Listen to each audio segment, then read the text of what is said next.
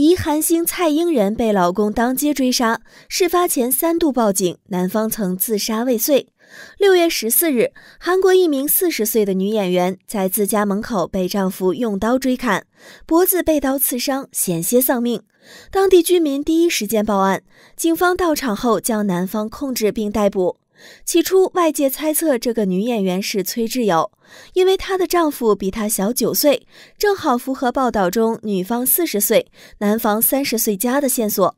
但崔智友很快分享自拍，否认涉案。到了六月十五日，韩国媒体人扒出这个女星疑似是蔡英人。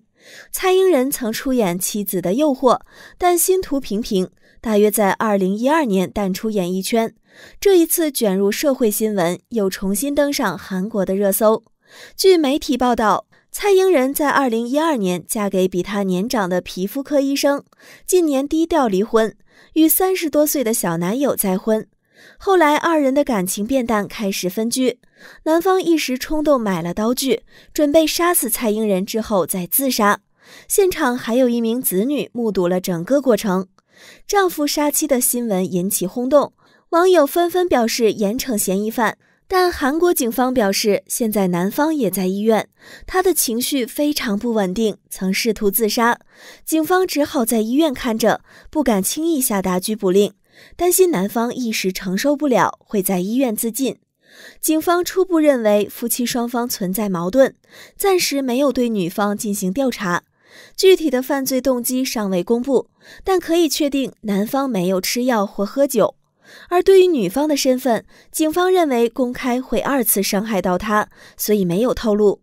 不久后，韩媒再次透露细节，原来女方在被追杀前一天曾三次报警，称遭到丈夫家暴，分居的丈夫到家里闹事。警方到达后，下达了禁止丈夫接近妻子的命令，但是男方死性不改。等警方走后，试图通过管道打开玄关，还给妻子打电话威胁：“我会做出极端的选择。”警方当时又以没有直接损失为由，并未对男方做出强制措施就离场。当天，男方还在街上试图自杀，被巡逻的警方发现后送到医院。没想到，男方第二天早晨跑到家里，趁着妻子带女儿上学的时间，用凶器狠狠地刺向妻子。目前，多家韩媒试图采访蔡英人，不过他本人暂未回复。有韩媒扒出蔡英人之前到电视节目的访谈内容，蔡英人曾多次表示自己比较偏激，丈夫跟她吵架后会在第二天主动和解，但她没有消气，用脚踢了丈夫。如果烦躁的话，还会撞击自己的孕肚。也表示与婆婆的关系不和，丈夫经常吐槽她的身材，婚后生活并没有想象中圆满。不过，她的丈夫采访时给出不一样的说法，表示那是想亲蔡英人的脚才被打到的。尽管维护或者说掩盖二人的矛盾，时隔两年，男方居然不顾孩子，试图杀死妻子后自杀。到底是什么样的矛盾，让他们从挚爱变成仇人？接下来说，出身贫寒的韩剧女星 IU 遭过亲戚冷眼，金世正曾靠补助金度日。韩剧中的女星总是给人一种出身富贵的感觉，譬如最近因社内相亲火至内娱的金世正，即便是淡妆出镜，也有财阀千金的气质。然而，别看在镜头下的她光鲜亮丽，在现实生活中，金世正很长的一段时间里都要靠领政府的补助金度日。正当红的韩剧女星中有不少与金世正一样出身贫苦，是后期靠着自己的努力逆袭才名利双收的。这其中有人曾寄人篱下遭亲戚冷眼相待，有人一边打工一边寻找出道机会，还要替母亲还清巨额债务。李圣经曾住贫民窟。金世正靠政府补助金度日，因举重妖精金福珠走红的李圣经，在不笑时给人一种生人勿近的高冷感，而因为是模特出身、外形条件出众的他，也时刻透露着一种贵气。所以，很多不熟悉他的观众都会误以为他在现实生活中是富家千金，但实际上，李圣经的出身很普通，且在他四岁的那一年，家里还遭遇了变故，因为父亲的工厂发生了意外，进而导致家里破产，甚至还欠下了巨额的债务。李圣经全家都被迫搬到了棚户区，在韩国棚户区相当于贫民窟，那里的居住环境很糟糕，所以在那里生活了一段时间的李圣经过得十分辛苦。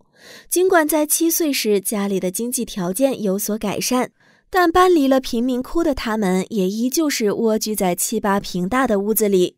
李圣经的同学在去他家玩的时候，甚至还惊呼道：“这个房子要怎么住人？”直到李圣经成为模特之后，他们家的生活才有了明显的好转。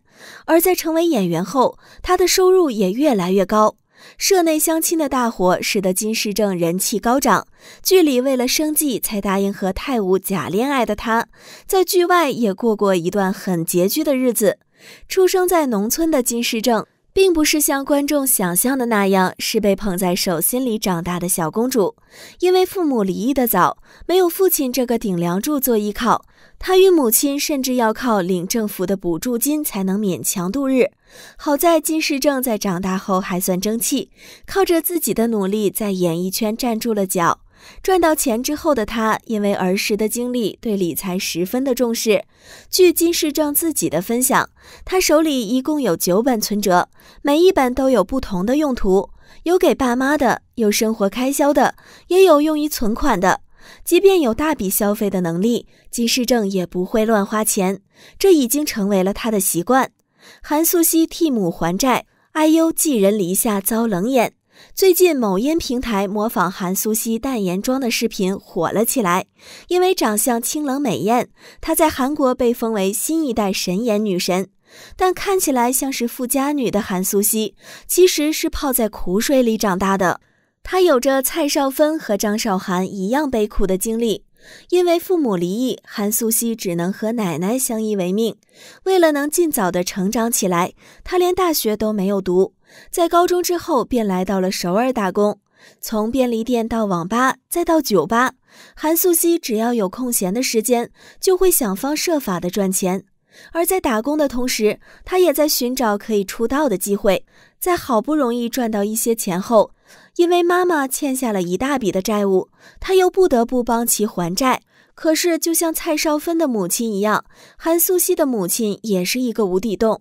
无论韩素汐如何努力，母亲始终不知悔改。她打着女儿的名号四处借钱，之后又消失得无影无踪。为此，债主只能去骚扰韩素汐。在还了一笔又一笔债务后，对母亲失望透顶的韩素汐也终于不再忍耐。她向媒体公开表示，自己以后不会再替母亲还债。由此，她被吸血的命运才得以解脱。如今的韩素汐凭借着自己的努力，过上了理想的生活。住在千万豪宅里的她，不用再为钱发愁，终于结束了那段噩梦般的苦日子。在韩娱圈红到发紫的 IU，在出道之前的生活也是十分的辛苦。因为家里负债，她被母亲送到了亲戚家里寄养。虽说是亲戚，但那家人对 IU 的到来并不欢迎，甚至在私下里说出过“他怎么还没走”这种话。不小心听到这种话的 IU 非常的伤心。但寄人篱下的生活就是如此，即便受到了不公的待遇，也要把苦水咽进自己的肚子里，不能吭声。对于 IU 来说，在那段时间里，相比回到看人冷眼的家里，住在练习室里的生活要更加的温暖。至少那里有永远也吃不完的零食和可以睡得很香的被窝。好在如今的 IU 总算是苦尽甘来。从歌手到演员全面发展的他，不仅在圈内有着不可取代的地位，也赚到了不少钱，可以买属于自己大房子的他，终于摆脱了寄人篱下的生活。A Pink 女子组合成员之一的郑恩地，也是生在了一个负债累累的家庭中。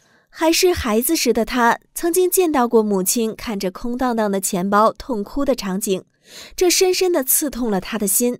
为此，郑安地下定了一定要通过自己的努力帮家里还清债务的决心。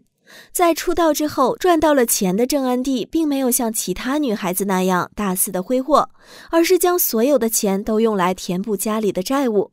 就这样，在三年的时间里，他还清了家中所有的欠款。在还清欠款后，一家人如释重负。而放下了这块大石头的郑恩地，也终于可以更加轻松自在的生活。出身贫寒的韩剧女星，你还知道哪些？